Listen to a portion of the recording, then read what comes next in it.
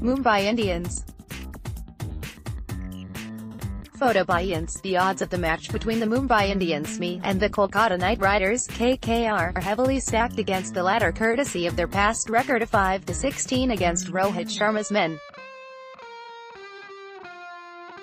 Moreover, KKR have only a solitary victory in their kitty at the Wankhede Stadium, which tilts the contest further in favour of the home team ahead of today's encounter.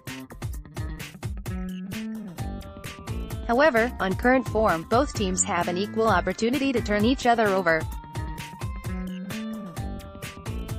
The Knights have rolled over the Royal Challengers Bangalore RCB, and the Chennai Super Kings RCB, without dropping much sweat, which will keep them in a positive frame of mind. Mumbai, on the other hand, has struck form in their last game and would be keen to maintain their winning momentum.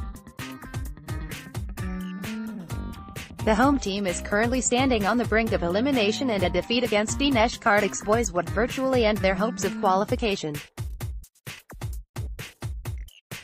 Meanwhile, another victory for KKR would strengthen their nomination for the playoffs. Nevertheless, more than the Knights, the Indians would be more desperate for a victory.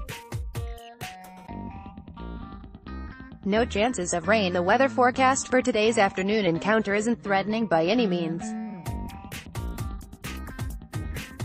The temperature would remain warm throughout the day and would hover around the 30 degrees Celsius to 32 degrees Celsius.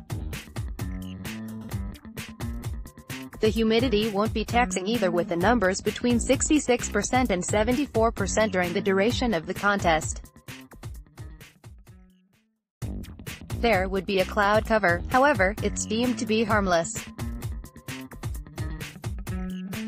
Overall verdict Mumbai Indians me will definitely wish for a full game as every point will be equivalent to gold dust for them from now onwards. The pitch at the venue is renowned for producing run fests and it won't spring a surprise if the game pans out the same way. The bowlers are again expected to come under the pump of some lusty hitting. Here are more details, photo source, AccuWeather, stay updated on every cricket news and developments with CricTracker.com.